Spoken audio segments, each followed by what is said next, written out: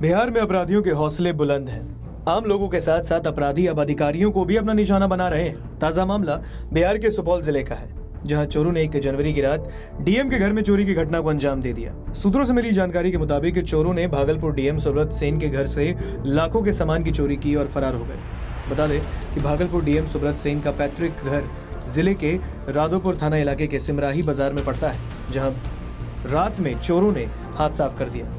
खबर है कि चोरों ने उनके घर के अलावे आसपास के तीन और घरों और दुकानों में चोरी की घटना को अंजाम दिया है। दरअसल, सुब्रत सेन अपने परिजनों के साथ बाहर रहते हैं। ऐसे में इस बात का फ़ायदा उठाते हुए चोरों ने घटना को अंजाम दिया। इधर, स्थानीय सदानंद शाह को जब चोरी की भनक लगी तो उन्होंने अपने लाइसेंसी रिवॉल्वर से दो राउंड फायरिंग की। फायरिंग होता देख, चोर वहाँ से फरार हो गए। इस दौरान उन्होंने राधोपुर थाना को आठ बार फ़ोन भी किया, लेकिन एक बार भी थाने में किसी ने फ़ोन नहीं उठाया, जिससे स्थानीय लोगों में राधोपुर पुलिस के लिए काफ़ी आक्रोश है। वहीं जब पुलिस ने इस संबंध में पूछा गया तो उन्होंने चुप्पी साध ली। थानाध्यक्ष ने बस इतना ही कहा कि पुलिस जाँच में जुट गई है। जल्द ही मामले का खुलासा किया जाएगा। आपको बता दें कि चोर काफ़ी देर तक घर में थे और हर कमरे का ताला तोड़कर चोरी की गई। हालाँकि डीएम या उनके परिजनों के मौके पर मौजूद नहीं होने की वजह किन सामानों की चोरी हुई है, इसका पता नहीं चला। गौरतलब है कि इससे पहले भी डीएम सुब्रत सेन के घर पर चोरी हो चुकी है। उस वक्त भी डीएम सुब्रत सेन के घर चोरी हुई।